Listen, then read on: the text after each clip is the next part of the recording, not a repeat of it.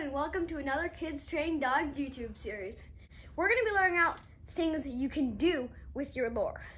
Now, if you haven't seen the other video where we teach you how to get your dog to learn a lure, we'll link that down below in the description. Before we get into this, make sure to subscribe if you're, you're new and like this video.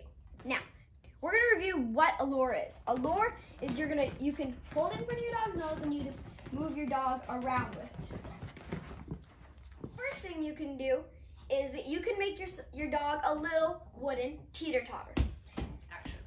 So for our teeter totter, we just slapped a two by four, two triangles, another shorter two by four on the bottom with a piece of plywood on the top. You might not have these materials at home, but get creative. See what you can find. Try having a buddy hold it so it doesn't tip down as fast for your dog. First, we're gonna have Zeta hop up onto the board. Zeta, sit up.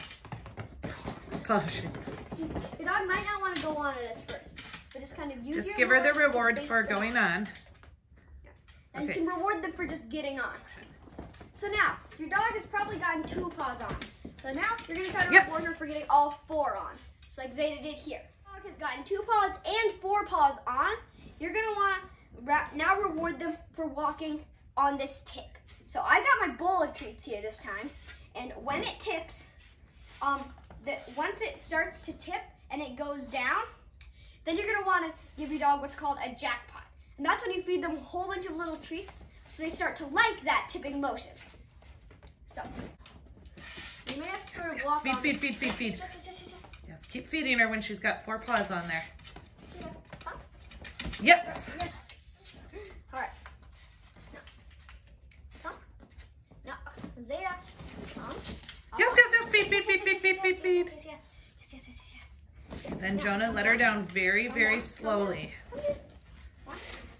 Yes, good girl. After you have done this a couple more times with your buddy, letting it come down slowly, try getting your dog to go across Yes, it good without girl. the buddy. Every time your dog interacts with it, praise them, give them a treat. Just do something to make them feel good about walking on your teeter totter. So now your dog has sort of realized that by interacting with it, this board, your your teeter totter. Yes, good girl. They're gonna get the treats. So now they're gonna start uh, to start wanting to get on board. Yes, they're gonna start wanting to get on the board. Now this is when they just get practice at it.